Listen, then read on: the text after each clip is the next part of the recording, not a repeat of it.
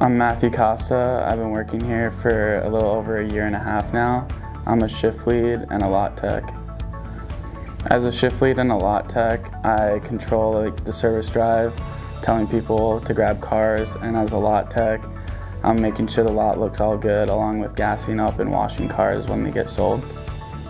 I first learned about Feldmann Imports through Citrin, the company I work at, and I thought it would be a fun job to have driving cool cars.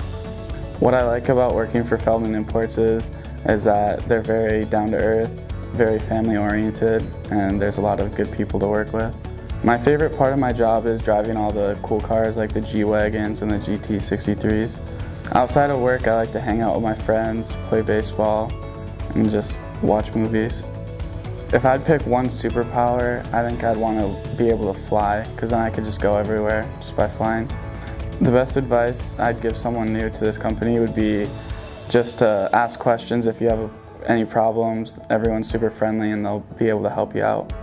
Three words I'd use to describe Feldmann Imports is family, fun, and oriented. If I could only eat one meal for the rest of my life, I think I'd choose chicken alfredo. It's really good. Can't go wrong with noodles. If I was stuck on an island, the three things I'd bring would be my girlfriend, food, and water.